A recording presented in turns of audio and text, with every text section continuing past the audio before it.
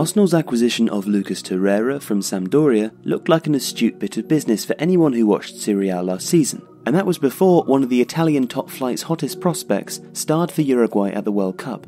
Despite being not selected for a starting berth until later in the tournament, the young midfielder excelled at the base of Oscar Tabarez's diamond formation, especially in the 2 1 win over Portugal. Torreira was central last season to Sampdoria's unexpectedly good performance in Serie A. Sampdoria lined up as a 4 3 1 2, with an attacking midfielder in the hole behind two strikers, and a midfield three behind him, in which Torreira took the central berth. His job was largely to screen the back four, negate the opposition's attacking midfield, and link play between the defence and the players further up the pitch. In transition, Torreira and the other midfielders had the job of holding the ball and recycling it, as the fullbacks, who supplied width in this narrow formation, would not usually push up until the midfield could release them. This is because Sampdoria played a high defensive line last season and the fullbacks didn't want to get caught out. Torreira, as the deepest midfielder, was often either the link man to the advancing wide defenders or their cover as they pushed up. He was also the fulcrum of this Sampdoria side. Defensively, he made interceptions, tackled, and provided cover to the back four. In possession, Sampdoria would cycle the ball around the two centre backs and Torreira until gaps opened, and he could then play short, sensible passes either to the flanking midfielders who split wider in possession or forwards to the attacking midfielder. Fulfilling a similar role for Uruguay and in a similar position showed that Torreira could make the step up to the biggest stage as well. He was instrumental in allowing Uruguay to press, which they did aggressively from the front, with Edinson Cavani and Luis Suarez, while the wide midfielders moved out and pressed in the wide spaces.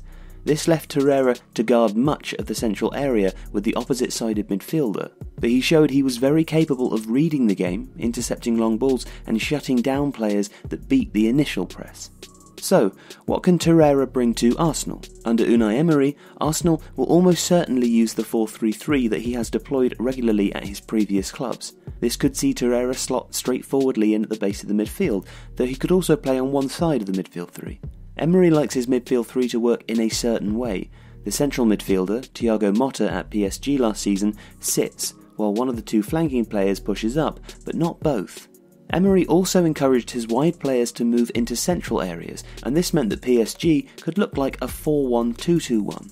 This encourages rotation of the ball in central areas, especially when the wide players drop deeper as well as in. Emery liked his wide players to drop off to create space to run at the opposition. Torreira will be central to this, literally. He is adept at finding space to receive and play passes out of the opposition's cover shadow, and his passing range means that he'll be able to play long through balls towards the wide men dropping in. He'll also allow the flanking midfielders, probably Aaron Ramsey and Granit Xhaka, the freedom to move forwards with less defensive responsibility and assist the build up from deep by working with the centre backs.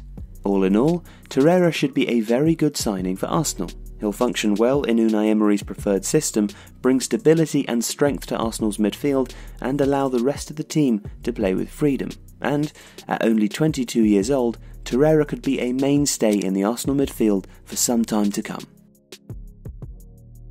Lucas Torreira and hundreds of other professionals are available to trade on Football Index, the real money football stock market. Have a look at the link in the description and also see details of a special promo code for TIFO viewers.